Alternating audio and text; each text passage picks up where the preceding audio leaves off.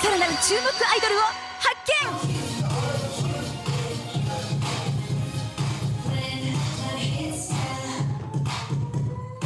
華麗なルックスと完璧なパフォーマンス。果たしてこの美少女たちの正体とは？ちょっと話聞きに行きましょうか。すごい k p o p のアイドルグループじゃないですかみんな綺麗ねいやっていうよりもなんかフレッシュ、ねえっと皆さんはデビューはもうしてるんでしょ 아니요.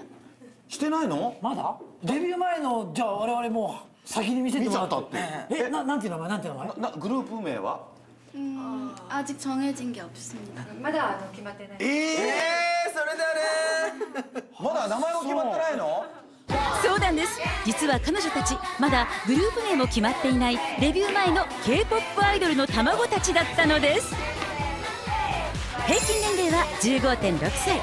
パフォーマンスはすでに完璧。1年後には手の届かない存在になっているかも。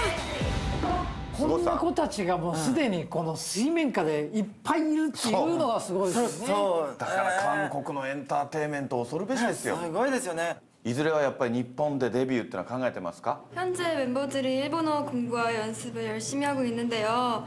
그래서 언젠가는 포미니 선배님들이나 비스트 선배님들처럼 일본에서 많은 사랑을 받는 그런 가수가 되도록 노력하겠습니다. 그때까지 어, 꼭 기다려주세요.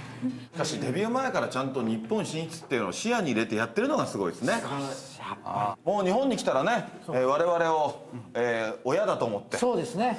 どっかで見かけたら師匠って呼んでください。師匠。って言ったらすぐご飯ごちそうしてください。日本の日本で見つけたらすぐ師匠って言うじゃあ皆さんで一緒に言ってみましょうか。花トゥーセ何でもこうちゃう。